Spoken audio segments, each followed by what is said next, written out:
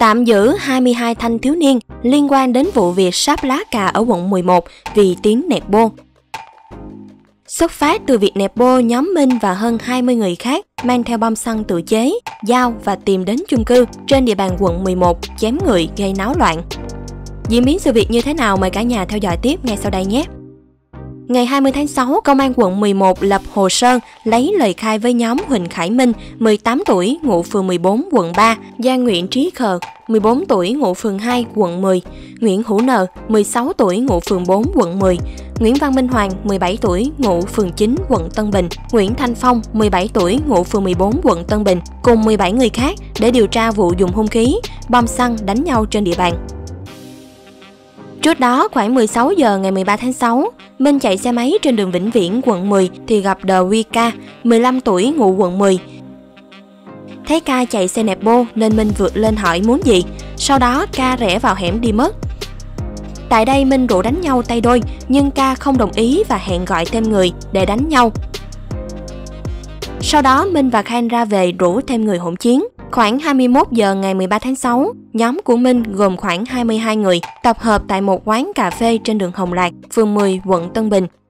Rồi gọi cho đối thủ để hẹn ra đánh nhau nhưng không được đồng ý. Khoảng 22 giờ cùng ngày, Minh dẫn cả nhóm đi qua chung cư 312 Lạc Long Quân tìm đánh ca. Khi cả nhóm đến trước chung cư thì thấy đối phương đang ngồi uống cà phê với bạn.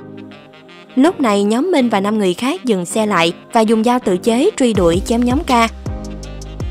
Riêng Trí Khờ và Phong, một người cầm một quả bom xăng ném đối thủ. Do hỗn loạn cả hai ném nhầm, khiến một người trong nhóm bị bỏng ở tay.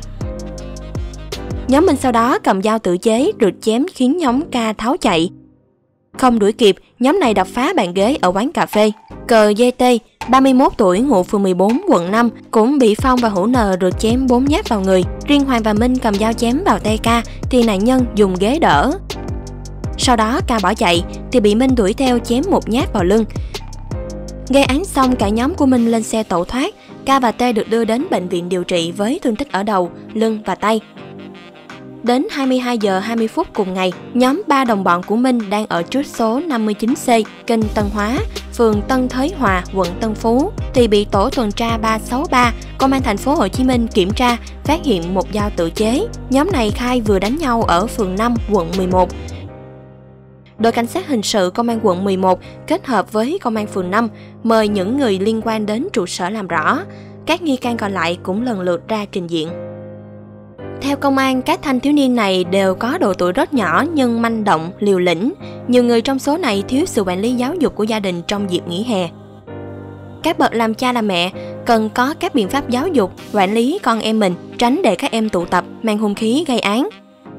Đến khi hậu quả xảy ra thì đã quá muộn. Hiện vụ việc đang được điều tra, làm rõ. Còn bạn, bạn thấy sao về sự việc này? Chia sẻ ngay cho chúng tôi bên dưới video và đừng quên nhấn vào nút đăng ký theo dõi kênh Sài Gòn TV để tiếp tục cập nhật những tin tức mới nhất trong ngày nhé. Gửi ngày tin nóng cho Sài Gòn TV qua hotline 0909 660 550 để có cơ hội gia tăng thu nhập nha.